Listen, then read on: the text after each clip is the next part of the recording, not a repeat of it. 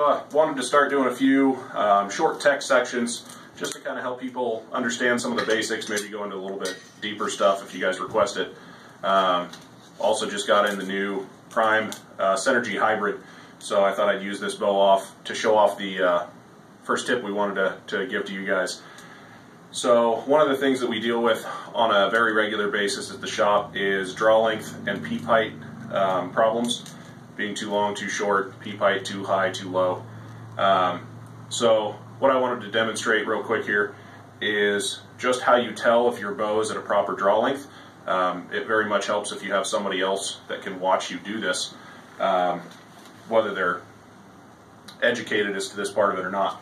So when you draw a bow back, it should look pretty much exactly like this. So your front arm shouldn't be overextended, it shouldn't be shortened, it should be just kind of naturally straight. And the string should hit right across the corner of your lip and right across the tip of your nose.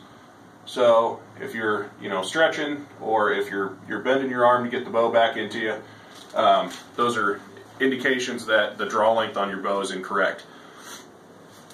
On a similar note, I'm going to switch to a different bow that has a peep sight in it. So, very similarly to that, um, with peep problems, so when you draw the bow back and it falls into that natural anchor position, just like that, that peep should come right in front of your eye. And actually this one is a perfect example of a peep issue. When I pull this up against my cheek, that peep is about a quarter of an inch low. So I have to move the bow down in order for me to be able to see through that peep sight. So those kinds of things are going to break your anchor point. They're going to cause you to have inconsistencies. It's going to be much more difficult for you to shoot your bow um, and it's going to be less fun.